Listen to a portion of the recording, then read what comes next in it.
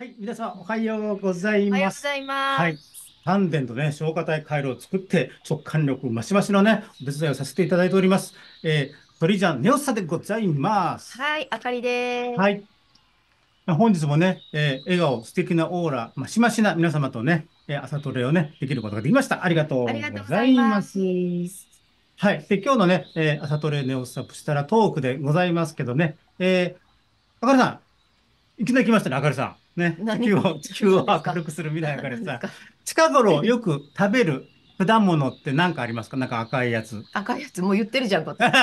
いちご。いちごですね。うん、あれ、いちごって鮮度大事ですよ鮮ね。度大事。えうん。ほんと、ちょっと置いとくとすぐね。傷んじゃいますよね。か、かびますねはい。。だからもう、なってそのまま食べるのが一番いいですよね。うんうんうんうんなんかね、ほんといちご狩り行きたいぐらいでございます。近くにいっぱいあるんですよ。あるんですよ、このう琵琶湖周りね。はい、大宮町はね。ぜひ皆さんと行けたらと思います。ねというところでね、鮮度。じゃあ、鮮度、今食べ物のね、旬のある鮮度っていうのがあるんですけど、食べ物以外にもね、大事な鮮度がございます。うんでそれはね、ひらめき、直感力。ね。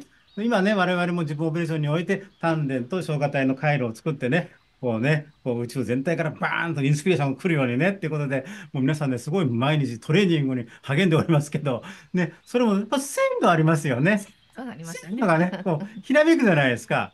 で、ね、こうひらめくんですけど、でもうすぐやりゃいいんだけど、まあ、後でもいいや、みたいなしたら、やらないんですよ。やらないですねちゃんと。だからうん腐ったイチゴみたいになっちゃうんですよね。そうそうそう。もうその時美味しくない。過ぎてし、旬が過ぎてしまったらね。うんまあ、極端なんですよ。まあ、まあ、いちごも、あの、ひも、あまり日持ちしませんけど、その、えー賞味期限の中で食べたらとても美味しいんですね。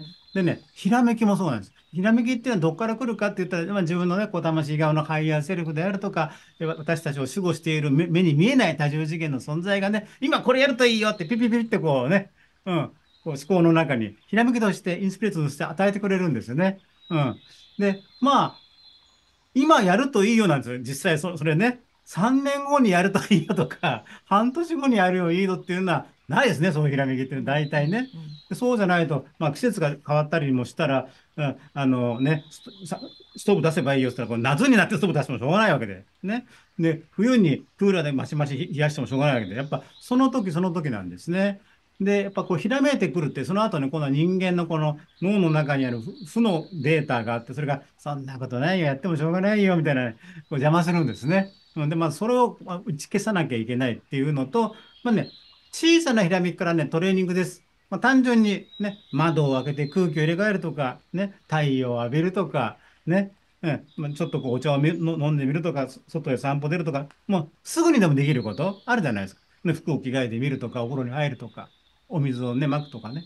で多分そういうインスピレーション来ると思うんですよね。で、もうすぐ、ね、いろいろこうご用事があると思うんだけど、こう、そのひらめきに対して早くアクションを起こす。ね。で、多分ね、癖づけですよね。そうそう今お茶飲みたいと思ったらすぐお茶入れて飲むとかね。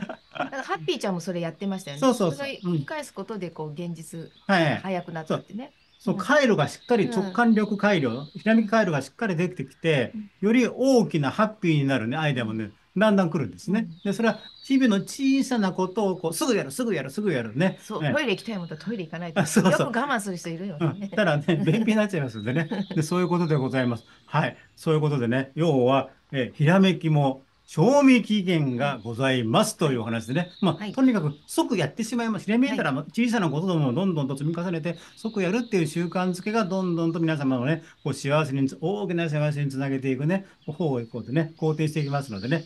というお話でございはい、ます。今日は皆さんね、意識してね、そういうのをね、やって。はい、今日ひらめいた方ね。ひらめいたらすぐにすぐ、やってみてください。はいね、とにかくすぐやる。はね。ということでございます。はい、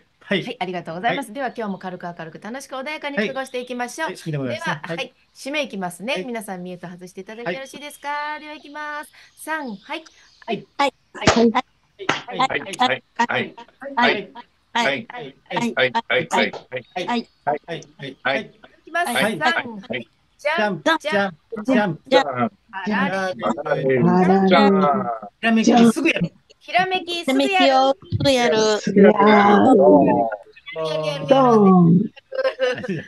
こうやってみましょうね。なんかひらめいたらね。はい。はい。ということでね、えー本日も、えーオペレーションの方、お仕事の方、お出かけの方、いってらっしゃいませ。